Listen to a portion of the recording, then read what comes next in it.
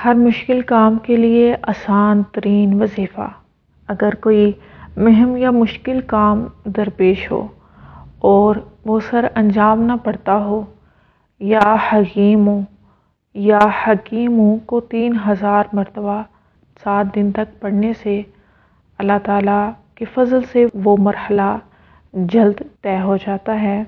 सिर्फ़ सात दिन, साना तीन हज़ार मरतबा या हकीमों को पढ़ना है। आप भी इस वजीफ़े को आजमाएँ, इससे भरपूर फ़ायदा भी उठाएँ और सदका जारिया की नीयत से औरों तक भी पहुँचा दें। जजाकल्ला खैर। अस्सलाम वालेकुम